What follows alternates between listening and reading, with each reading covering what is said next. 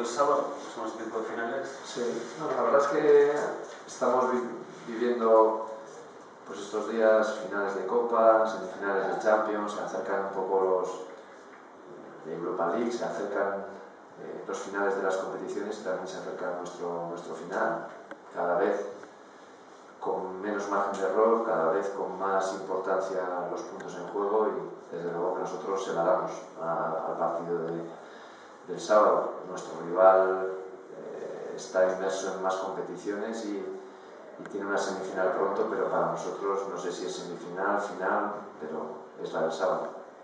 El Valladolid bueno, mostró una cara igual muy defensiva, se encerró en su campo. ¿Esperáis a un Valencia, un equipo diferente que pueda otro tipo de, partido en ese sentido? Sí, Valencia, a ver, es un equipo yo creo que bastante compensado, bastante equilibrado, que casi todos los partidos que disputa, sea en Almería últimamente como visitante ganando 0-2 en descanso, o sea en Valladolid que no se movió el marcador, en todos esos partidos como visitante ha sido capaz, sobre todo en esas primeras partes, de, generar ocasiones clarísimas de gol. Eh, no solo los dos goles que hizo en Almería, sino que hizo en esos primeros segundos hizo el primer gol y luego incluso pues, tuvo, yo recuerdo, cuatro o cinco ocasiones claras en ambos partidos para haber hecho gol.